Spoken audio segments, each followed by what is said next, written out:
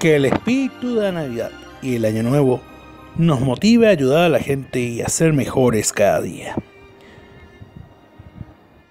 Feliz Navidad, feliz Año Nuevo.